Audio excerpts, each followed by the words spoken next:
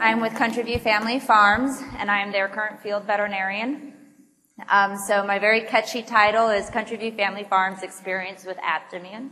So in the next 20 minutes or so, I'm going to give you just a brief introduction of who Country View Family Farms is, which I will be calling CVFF from this point forward, and then what our experience with Aptimmune was, where we implemented, and then the results that we have to this point so far.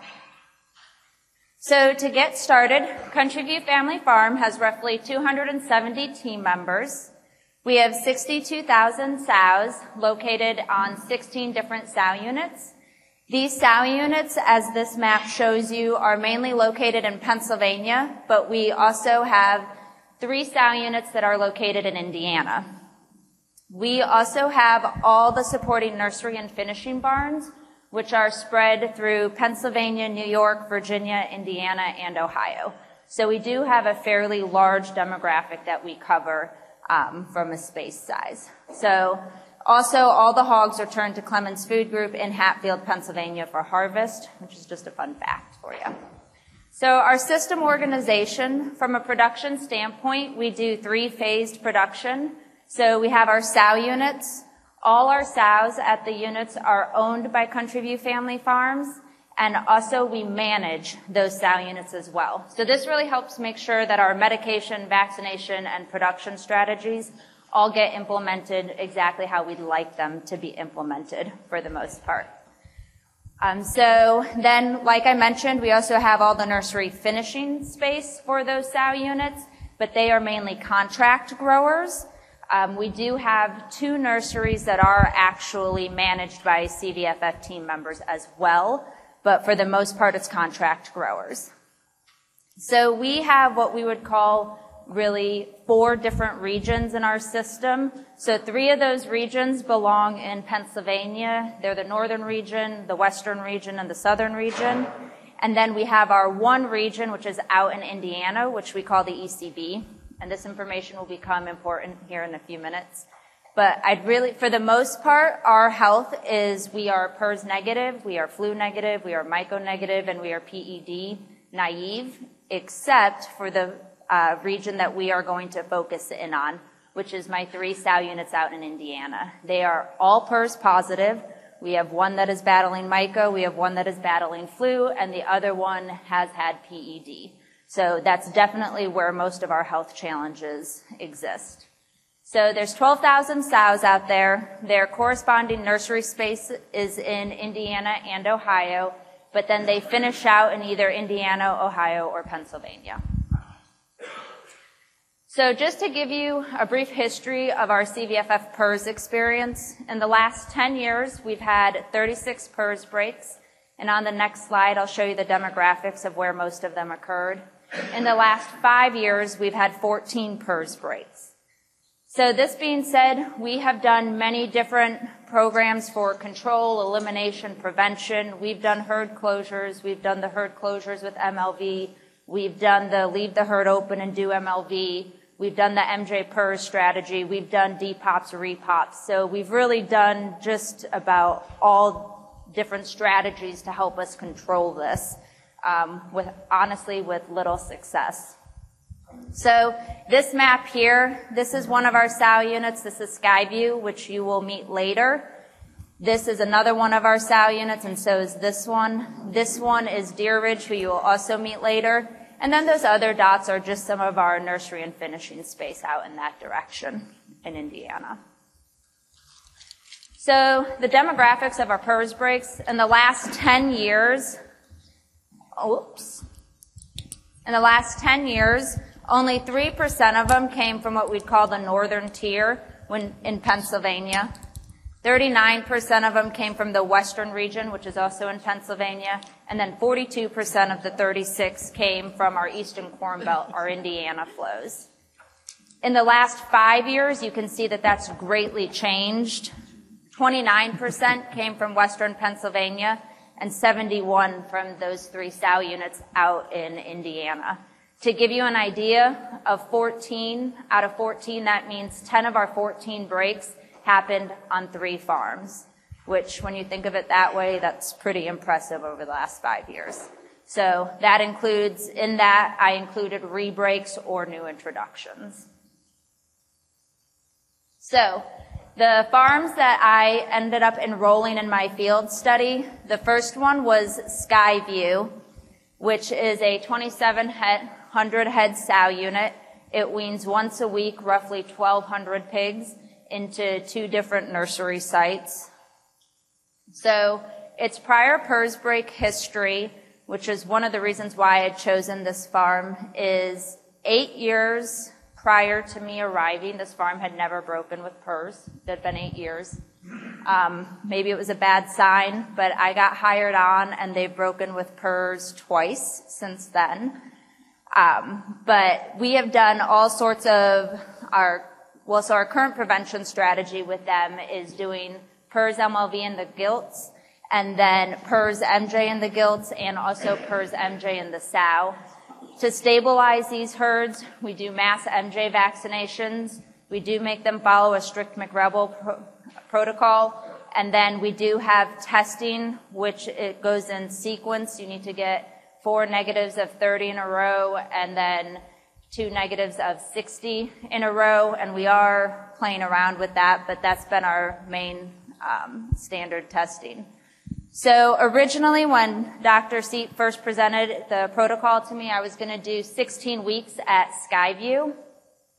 But as you'll find out later, Deer Ridge, right in the middle of me starting my trial, Deer Ridge broke with PRRS, and it seemed more applicable to do eight weeks at Skyview and then eight weeks at Deer Ridge. So Deer Ridge is a 5,600 head sow unit, so they wean twice a week. They wean 2,600 in a week. Their prior PRRS break history in the last five years, they have broken at least once every year. Um, and they are on the same current prevention strategy as well as stabilization plan that Skyview is. So, Skyview's trial, the timing of vaccination post break was something that Dr. Seat and I debated a lot about because they were three months post break when we first implemented the Barricade PRRS product and they're already starting to wean negative pigs or starting to have pools of negative pigs. So the protocol at the sow unit, we did one mil intranasal at processing, and then we did do the two mils intranasal at weaning. No, the team members did not love doing the two mils at weaning, but they did respect that what we were trying to do with this product, so they did do it. Um, so when we were looking at this trial, our goal was to evaluate our pre-wean mortality, our nursery mortality, our average daily gain, feed conversion, and then time to negative. So today I'm only really going to be able to present to you our nursery mortality as we're still looking at some of those other aspects. I do have what this farm's time to negative was because they are currently um, PRRS positive stable. And then um, we're still, like I mentioned, we're still investigating the other things that we'd like to evaluate. So I apologize because I didn't realize how light blue this was. But so our x-axis is the date that these lots from the nursery closed. Our y is the percent. So these yellow dots are when we confirmed that that was a closed lot of PRRS positive pigs. So as you can see, this is, we have some pretty high staggering nursery mortality with some of the PRRS that we saw. So this was their very first break. So it followed a similar trend as their second break. And this was about when we were confident that we were clean and negative and then we broke again.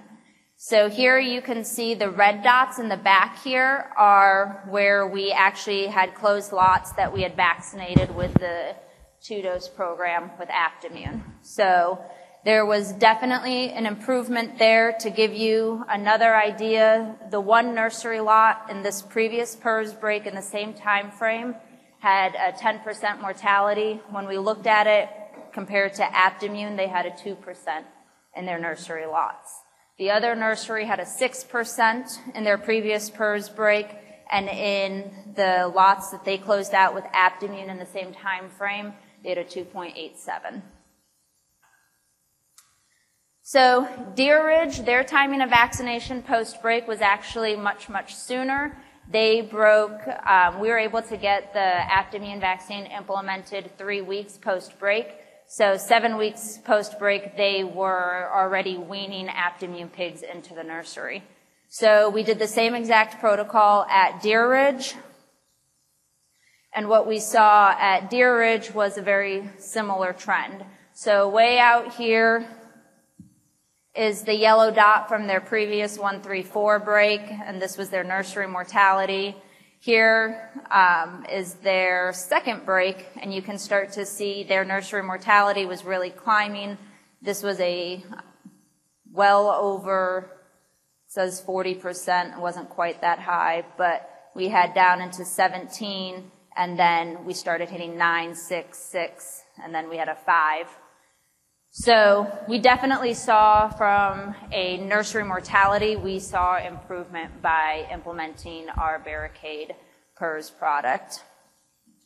So the one thing that I will uh, mention that I forgot to on the first slide was when we used the Barricade, it was not the same strain in Skyview that Skyview was actually facing. So we used a 173 and Skyview at that time was seeing a 172. You can debate the difference amongst yourselves, but it was not necessarily a perfect match. It was for Deer Ridge. So that being said, our plan moving forward is we always want to continue to improve our biosecurity because ideally we would never have a PRRS break, but I don't see that happening anytime in the near future. We always want to continue to find preventative plans and we want to use the best technology that's out there so because of the results that we saw and the financial impact that it had on our system, we chose to move forward with Barricade, and we're actually going to implement it in a strategy for pre and post break. And we are also using the strategy because we technically wean negative pigs into a positive nursery. So having that additional protection has been really where we've seen the benefit. Um, I didn't have the dots on the map, but at this point moving forward, our nursery mortality has started to creep back up into 4, 5, and 6%, even though the pigs are technically negative going in. So I want to thank Dr. Seat for the opportunity and open it up to any questions if we have time. It's time for questions.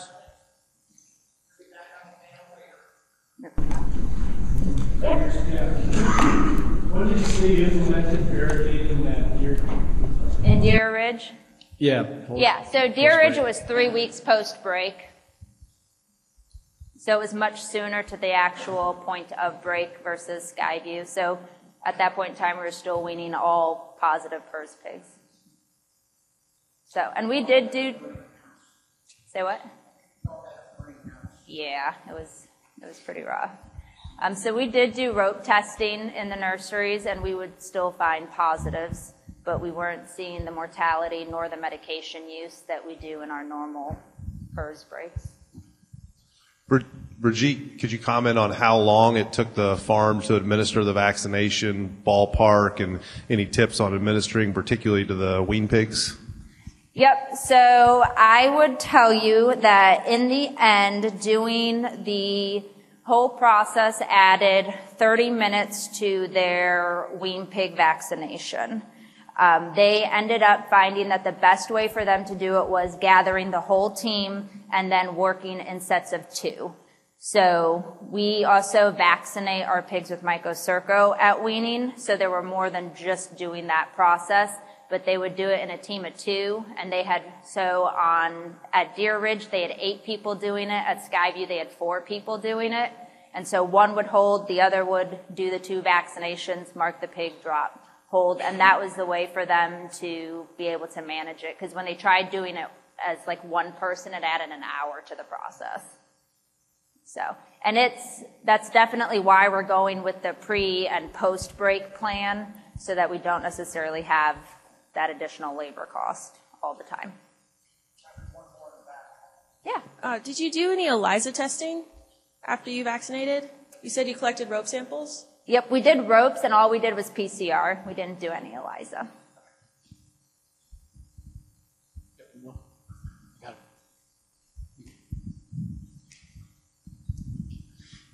You mentioned that your mortality had crept back up. Uh, one, are those vaccinated pigs? Have you continued to vaccinate those pigs? Two, what's the uh, what do you attribute that creep in mortality to? Yep, great question. So he asked, did we continue to vaccinate pigs and what was the creep in mortality? So we did not continue to vaccinate pigs because we only had 16 weeks worth of product. So once we were done, we were done.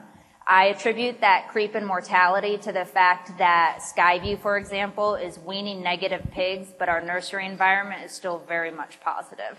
Um, so when we take rope samples or if I do necropsies and submit, we always find uh, PRRS positive PCR on them, and it typically is a pretty low CT, under 20. So,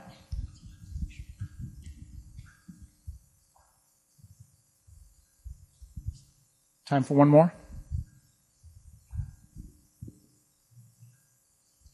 This will be our last question, then we're going to move on. And both those sow farms were the new introductions or rebreaks on the same virus? great question. So both of those sow farms, those were brand new introductions that we'd never seen. Dr. Mason, thank you. How about a round of Thank you. applause?